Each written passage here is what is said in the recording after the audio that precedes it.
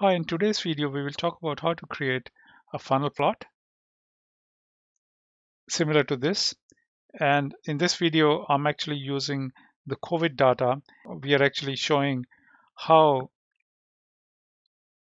each comorbidity plays its role in terms of um, the, the, the mortality rates. So we're comparing all these comorbidities based on the criteria. For example, this is a 95% uh, confidence interval and that's a 97.5% confidence interval. And we can compare and find out the outliers. For example, we can see that uh, this is the overall mortality rate for the people who have one or um, other comorbidities. And we can see the outliers. For example, this is a 95% confidence interval, and there are certain uh, comorbidities which are um, higher. In this case, we can see that obesity is uh, an outlier which is outside this 95% confidence interval, but still within the 97.5 interval. Similarly, pneumopathy is also uh, on the outer layer of the 97.5 confidence interval.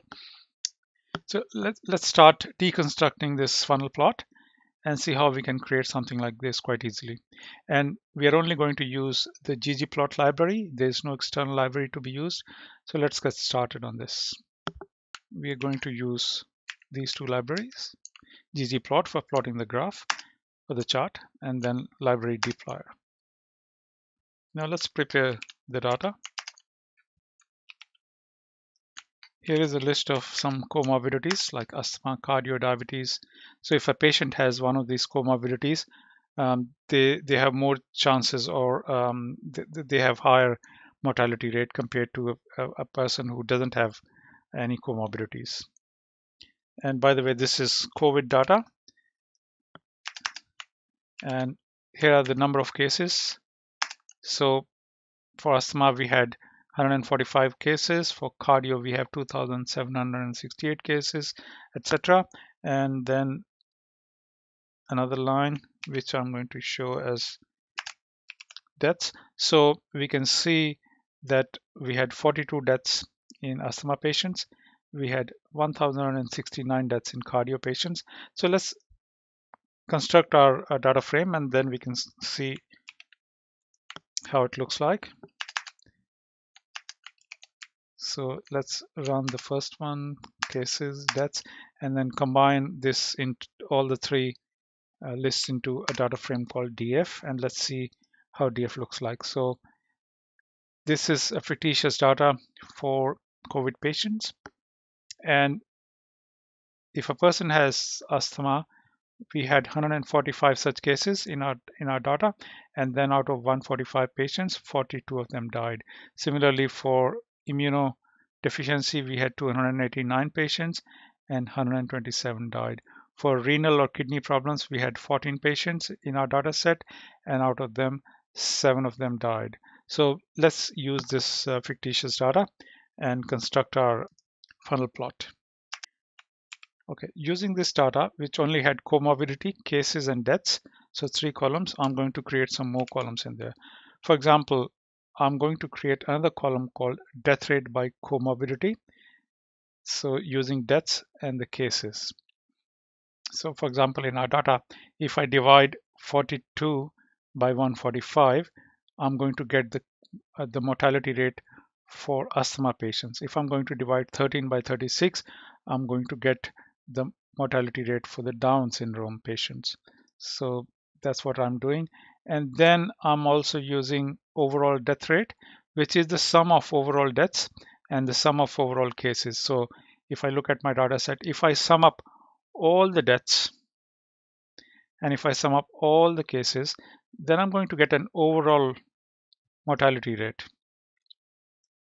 And then I'm uh, actually calculating the standard error using the, the two columns which we just created above. And then this is the lower confidence interval for 95% confidence uh, interval. So using this formula, overall death rate minus 1.96 times standard error and the standard error was calculated here. Similarly, the upper confidence interval and then again we are actually calculating the 99.7 mm, percent confidence interval as well. And you can change these confidence intervals uh, yourself if you want. I'll give you a small table which will help you. So if you want to calculate 80% confidence interval, you use 1.282 instead of 1.96. If you wanted to do 90% confidence interval, you would use 1.645 instead of 1.96. So similarly, you can uh, tailor it according to your need. So let's create this df2 so df2 has now more columns in there so this is the death rate by comorbidity which is nothing but 42 divided by 145 in the second line this is 1069 divided by 2768 that gives us 38% mortality rate. Now overall death rate or the overall mortality rate is the sum of all the deaths and divided by sum of all the cases. So it's it's always going to be the same. And then this is the standard error lower confidence 95% um, lower confidence interval upper and 99.7% lower confidence interval and upper confidence interval. So with this data in hand we are ready to plot our chart. So i'll be simplifying this chart. Um, so i'll be going in different steps so that uh, we can see what's going on. I'm just going to plot. So I'll simply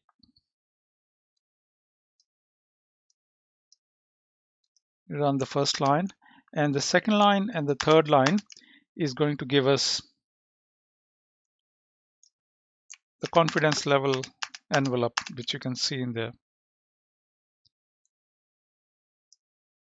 So we've only got these two lines. So which is the upper and the lower confidence intervals for 95%. And now I'm actually going to add two more lines in there. So I'm just going in simple steps so that you can understand what's happening in the in this charting. So now we have two confidence intervals there. Red being the 95% and blue being the 97.5% interval. We haven't got our data points yet. We just got the envelope. Now I'm going to put one more line in there. And you can see that this is the overall death rate. So this is our criteria against which we are going to compare uh, different uh, comorbidities. So this is going to give us another line in there. So this was the overall mortality rate for all the patients who had one of those comorbidities. So 38.5% approximately. This is a straight line. Still, we haven't got our data points yet on, on this chart. So let's go further now. I'm going to add one more line in there now.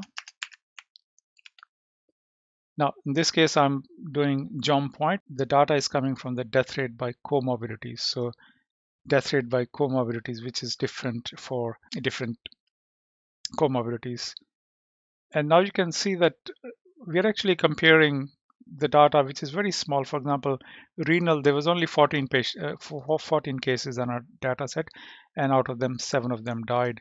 Whereas for diabetes or for cardio, we had large number of patients and a large number of patients died as well. So this chart, funnel chart, actually is a good visualization where you can compare different um, units who are working at a different level. For example, these are very high volume. This is very low volume compared to that. So you can, in one chart, you can compare all of them.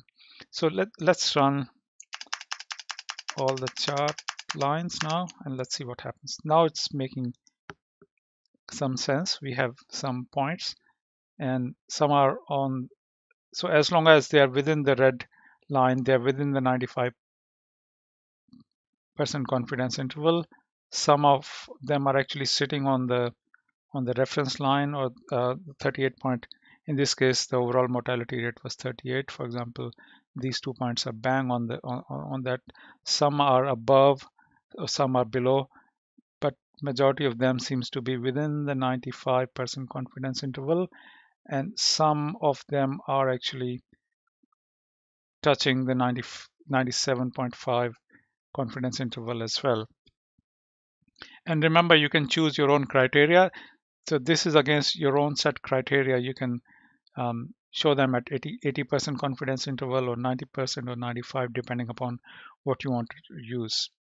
And now I'm going to add a few more lines. By the way all the code would be available in um, in a RPub notebook. So just look at the description below and you will find the, the direct link to all the code which you can run on your own. So I'm actually now putting some text labels and let's see what it does for us.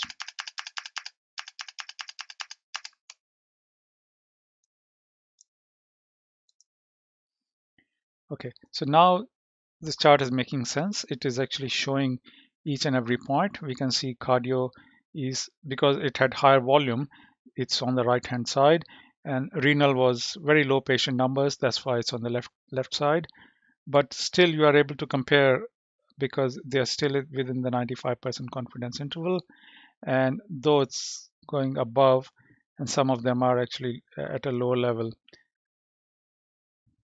So red line is your 95% confidence interval, and the blue line, which is this and this 97.5% confidence interval. And I hope you found this information useful. Thank you very much for watching it, and I'll see you in the next one.